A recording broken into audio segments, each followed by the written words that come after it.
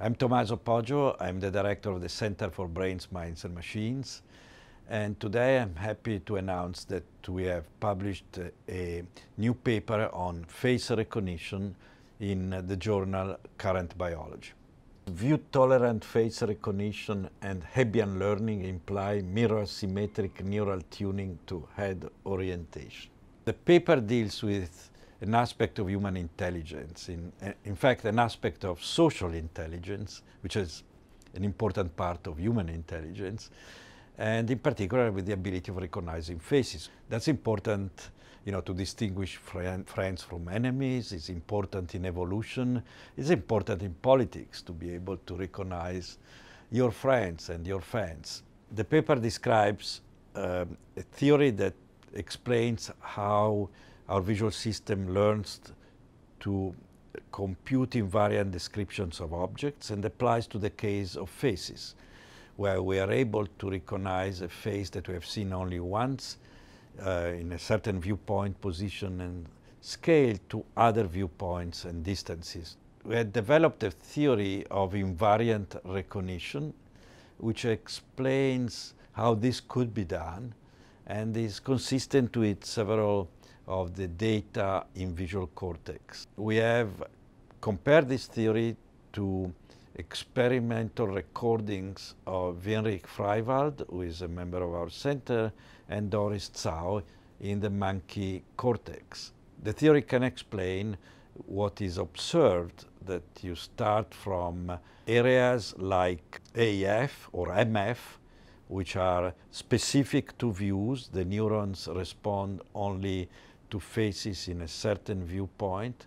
And then uh, the computation goes forward to other areas, in particular AM, where neurons are selective for the individual face, but are invariant to the viewpoint. So they respond the same independently, for instance, of uh, the rotation of the face. The theory explained this, is consistent with data, but there is an interesting um, puzzle, and this is uh, that there is an intermediate area called AL, where neurons that are respond to a certain view of a face, like say minus 45 degrees, also respond to the mirror view, plus 45 degrees, but none in between or outside that. And we are able to show that if you assume a particular form of Hebbian learning, which is known to exist in cortex, then when you plug in in our theory, in our algorithms, out pops this property of mirror symmetric view tuning. This is a very nice surprise that comes from putting together a computational model with a constraints coming from neuroscience, a particular form of synaptic learning that is known to exist in cortex.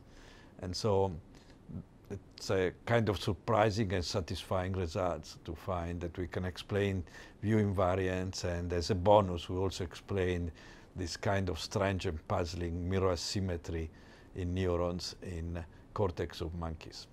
The paper also fits quite well the basic approach of the center, which is to integrate neuroscience, computer science and cognitive science because we are looking at the ability to recognize faces. This is the human mind. The computational algorithms used by the brain, this is machines. And of course, uh, the neuroscience part of it, what are the circuits of the brain that uh, are involved in the computations.